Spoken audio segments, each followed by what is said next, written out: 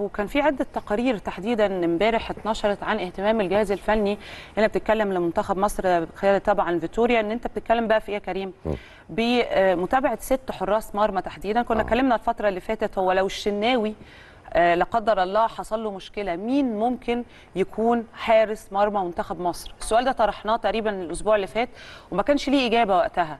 فأنت دلوقتي بتتكلم إن المفروض في ست أسماء مرشحة وبيبتدي يركز معاها فيتوريا علشان نفهم اللي جاي إيه. هل ممكن يكون فعلا في حارس مرمى لمنتخب مصر بنفس قوة مثلا محمد الشناوي في فترة ما ده مهم جدا. مين بقى الست حراس؟ عندنا عندنا أحمد الشناوي طبعا من بيراميدز عندنا محمود جنش من مودرن فيوتشر وعلي لطفي من زد ومحمود الزنفولي من الداخلية ومحمد بسام من سيراميكا والهاني سليمان من سموحة. وأعتقد كل اسم منهم وإن لم يكن الست أسامي بس كل اسم منهم برضو نتذكر ليه أداء رائع جدا مع الفريق بتاعه في فترة ما طبعا ومش هتكلم عن علي لطفي طبعا لاعب الأهلي السابق يعني.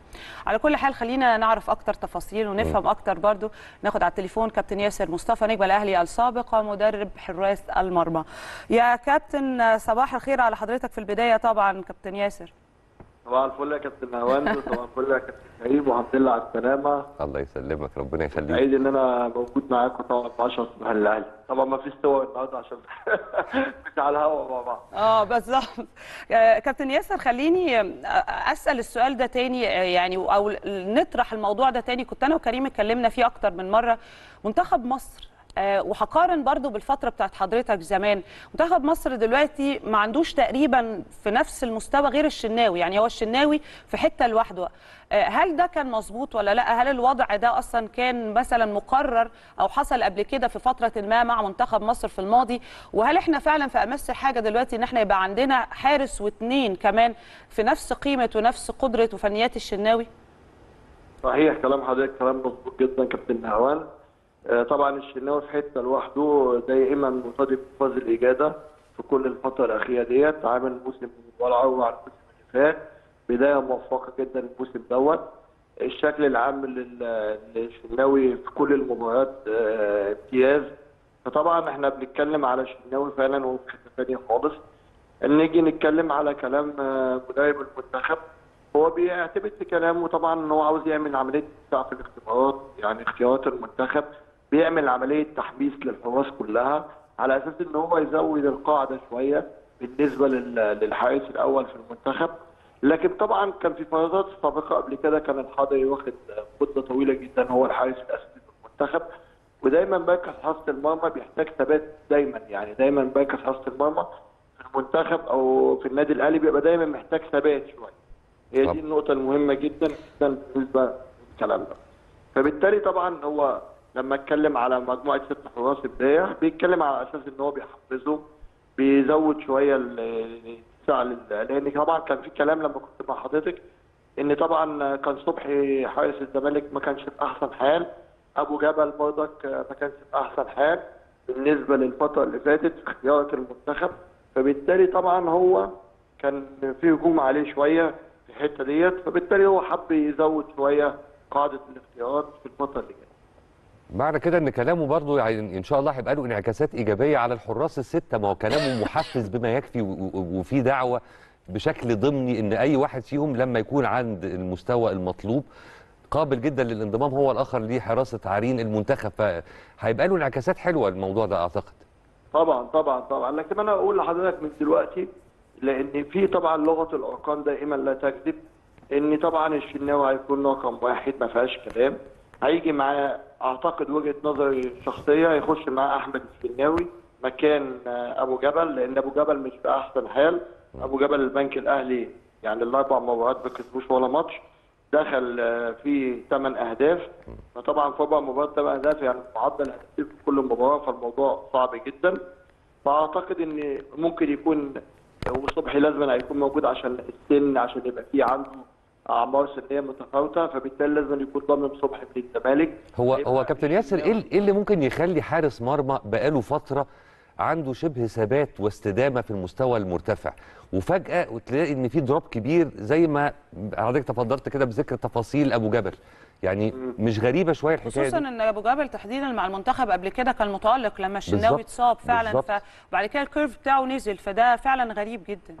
ما هو برضك ده يرجع يا كابتن هواند وكابتن كريم لحاجة مهمة جدا هي الحالة العامة للفرقة برضك زي ما اتكلمنا قبل كده الفرقة بتاعت آه البنك طبعا. الأهلي مش في أحسن حال آه، ما كسبوش ولا مباراة فبالتالي طبعا بيبقى خط الظهر ونص الملعب وال line forward كلهم مرتبطين مع الحارس المرمى. لكن طبعا أداء الفرقة العام بي- بينعكس بالطبع على حارس المرمى فبالتالي مستوى فرقة البنك الأهلي لسه مش في أحسن حاجة فبالتالي أبو جبل لسه ما وصلش لأحسن حاجة. نفس الشيء لما اتكلم على الزنفولي الزنفولي بدأ أول مباراة في الدوري بشكل كويس جدا وخد راجل المباراة لكن آخر مباراة ديت مع سيراميكا ما كانش أحسن حال نفس الفكرة بالنسبة لهاني سليمان.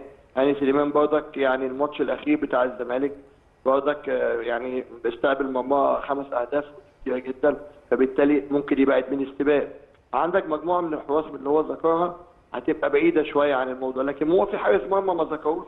اللي هو حارس مرمى المصري عصام ثروت ماشي بشكل كويس جدا. يعني هو لعب ثلاث مباريات آه، دخل فيه هدفين فده معدل كويس جدا. ممكن كان يزق اسمه. لكن على المستوى العام حراسة المرمى بالنسبة لمنتخب مصر في أمان. عندنا حمزة علاء في المنتخب الاولمبي عامل شغل هايل جدا جدا جدا. آه، والشكل العام بالنسبة لحراسة المنتخب بس دايما حراسة المنتخب بتحتاج أو الأندية الكبيرة بتحتاج ثبات. يعني دايما أنا حتى من المدربين أحب أبقى دايما الحارس ثابت. والتغيير في المركز ده بس هقول على حاجة معلش كابتن ياسر. في فارق. في فارق كبير بين أنا عندي ثبات في حارس المرمى هذا المركز اللي هو الأساسي لأي فريق وفي نفس الوقت عندي بديل للمركز ده بنفس المستوى. ما أنا ممكن أثبت ما عنديش مشكلة بس أنا يوم ما يحصل مشكلة أو يوم ما هيحصل مصيبة يبقى عندي بديل بنفس المستوى. هي قصة. وخلينا نبقى صراحة. أنا ما عنديش بديل بنفس مستوى محمد الشناوي. نتفق ولا نختلف بس في البداية؟ نتفق طبعا. كويس. فهي دي النقطة. أنا لما أكون منتخب مصر ومد- مدرب منتخب مصر مدير فني منتخب مصر وعندي طموح وال... وعندك ملايين من الجماهير وراك عشان منتخب مصر كل مرة بنقول يا رب السنة دي بقى ما نروحش تمثيل مشرف عايزين يبقى في حاجة تليق بالجماهير ده وباسم مصر. كويس؟ فالطموح دي كويس. مع بعض الأمور اللي هي فيها نواقص هي موسم على الموسم مكررة. يعني هي لا تحل. أنا ما زال عندي هذه الأزمة حتى هذه اللحظة. أنا ما عنديش بديل. بنفس مستوى حارس المرمى اللي هو محمد الشناوي اللي إحنا كلنا بنعشقه. وطبعا لاعب النادي الأهلي ال- ال- الأروع.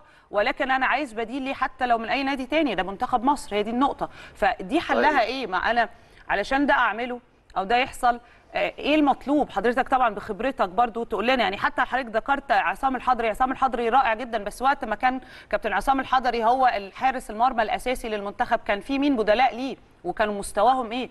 فهي دي النقطة. كلام حضرتك مظبوط جدا كابتن نهاوند وأسئلتك النهارده كلها سكون يعني. فطبعا آه، آه، كلام حضرتك مظبوط لكن طبعا منتخب مصر دايما عامل بالفرص أعتقد إن ممكن يبقى أحمد الشناوي ومحمد صبحي وجنش هم الأقرب يعني إن هم يبقوا موجودين بشكل كويس جدا في المنتخب ويبقى يقدروا إن هم طبعا هنقول هيبقى 100% لكن هنقول مثلا 70% 60% من الشناوي لأن طبعا الشناوي يعني أجاد في الفترة اللي فاتت بشكل كبير جدا عنده حاجة مهمة جدا جدا جدا هي ثبات المستوى. يعني ثبات المستوى من العوامل المهمة جدا اللي كان بيتكلم عليها الكابتن كريم إن هو الحارس دايما يبقى محافظ على الفورمة بتاعته الفورمة الرياضية المهمة جدا جدا. فبالتالي الشناوي دي من مميزاته إن هو محافظ على الفورمة بتاعته على ثبات المستوى بشكل كبير جدا صحيح. جدا جدا. لكن نقدر نقول إن منتخب مصر في أمان إن شاء الله نقدر نقول إن هو الكلام اللي بيقوله دوت المدرب المنتخب بيعمل عملية تحميس للحراس كلها بيعمل عملية اتساع في الاختيارات بشكل كويس جدا. ودي هتديله طبعا في الفترة اللي جاية إن هو يعني الحراس كلها تحس إن هي تحت المنظار وإن هم يستعدوا بشكل كويس جدا.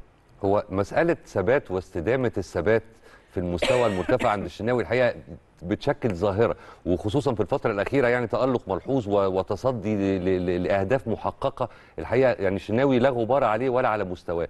بس أنا عايز أسأل حضرتك بعيدا بقى عن مركز حراس المرمى أصلا في المنتخب عايز أعرف رؤيتك لأداء المنتخب ككل في وديتي زامبيا والجزائر رؤيتك للأداء كان عامل إزاي؟ والله أنا عجبني جدا آه، المنتخب بالذات في ماتش الجزائر. إحنا استفدنا أكتر آه، في المباراة دي أكتر من الجزائر نفسها لأن إحنا لعبنا يعتبر من الدقيقة 29 ساعه تنتهي المباراة بنلعب ناقصين.